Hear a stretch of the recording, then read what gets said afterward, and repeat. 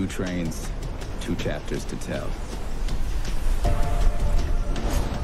One runs hot and fast.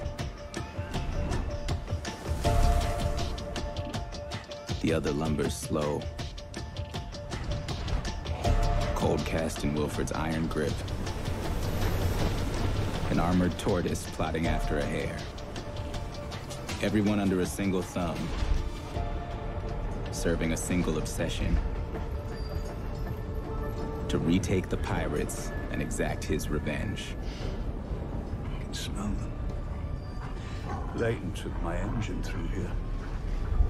About a month ago, judging by the ice buildup.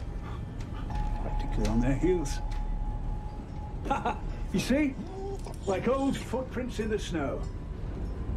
So Let's switch for the South Fork, engineer. We'll get it back, Jupe. Whatever it takes. Train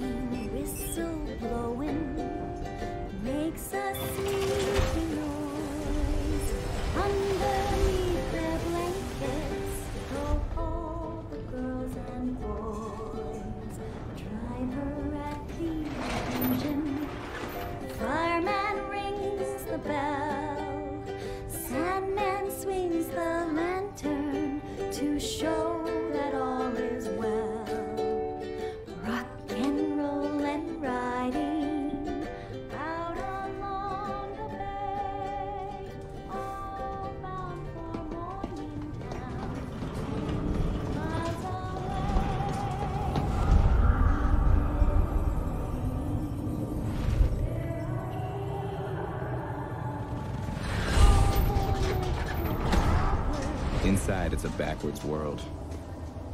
Only one class now. The working class. Freezing, stitching, fixing, suffering. Many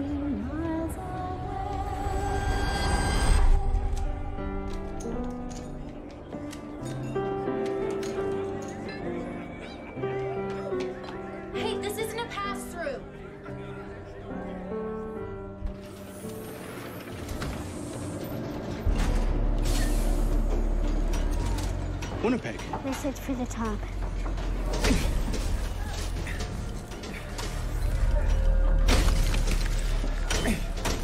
But frostbitten fingers hold fast. Deep in the iced over bowels where Wilford never treads. A spark still lives. The resistance. Nurtured and protected by the bravest of the brave.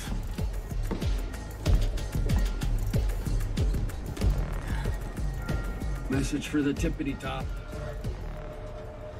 I didn't hear the password, Mr. Pike. I expect more from my second in command. They picked up sign of Snowpiercer.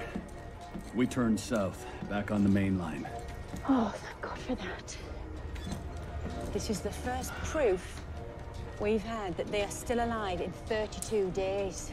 They must, they must have their reasons for all this traipsing about. I mean, if Melanie's aboard, we don't know. You ever think, Ruth, all alone down here at night, that since Layton bailed on us in the first place, he might never come back? No, I don't. And neither do you, or you wouldn't be in the resistance.